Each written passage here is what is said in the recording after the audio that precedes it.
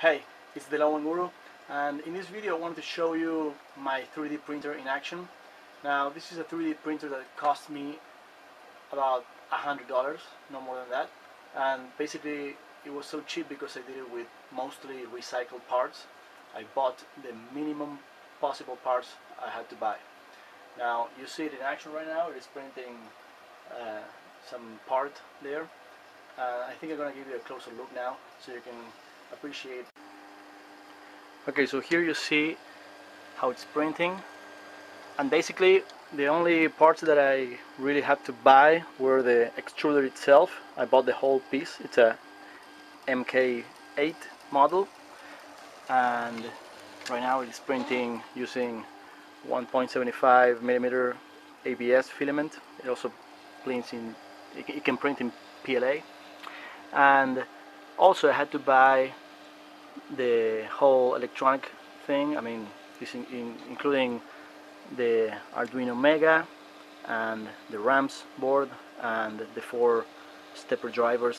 The rest I did it myself. Basically I used a power tool to cut the frame basically using my hands the best I could. And with some sandpaper I could finish I mean not very perfect but I did my best. Then this rail right here I took it from an old inkjet printer. It's a it was a Canon printer. These two I took from HP printers. Uh, pretty much like this thing you see right here right? You see how it goes back and forth. And then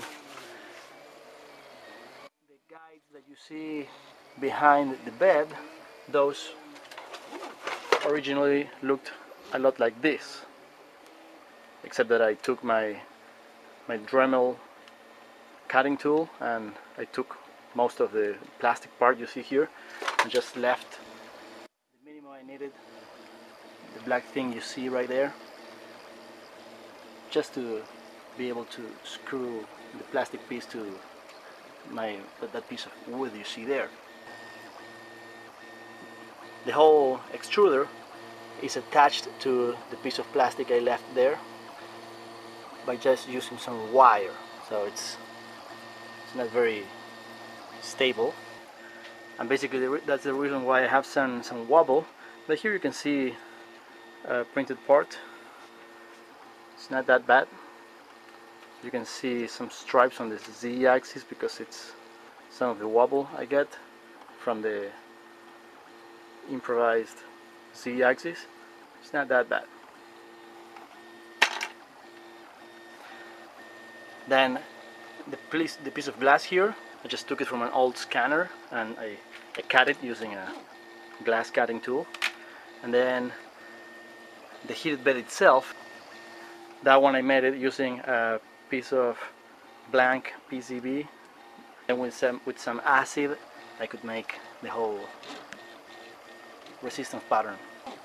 Also about the motors except for the motor you see in the extruder which came with the whole thing the other motors you see the one back there for the y-axis and this one right here for the x-axis those I took from old inkjet printers that I had to disassemble. Uh, also you can see how the Z-axis motors are very not very common in their format. They have that weird round shape instead of the, the square uh, NEMA 14 form factor. You can see also how those are attached using whatever thing I had at hand. Then about the end stops, this one I bought it, but then this one is just an old mouse click. I removed the, the mouse click switch and I attached a small uh, lever that I printed on my own printer. So that, that's it.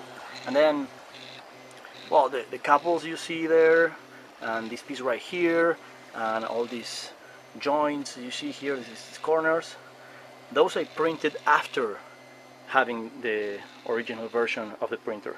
Originally, these Y corners were basically uh, made of wood.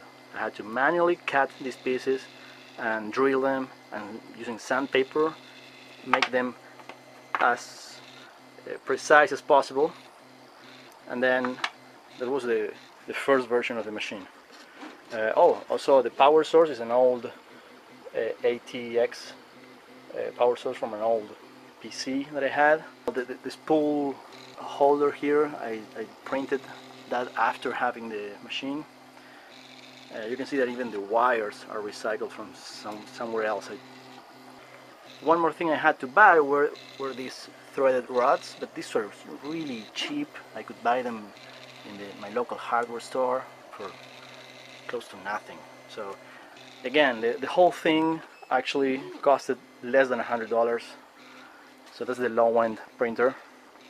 Using this printer, I was able to print parts to make another machine that actually works much better than this one.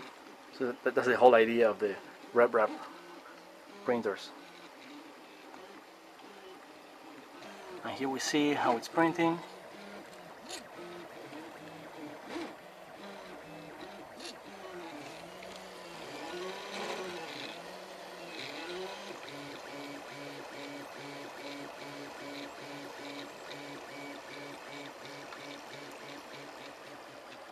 Okay, and that was my low-end 3D printer. I hope you liked it.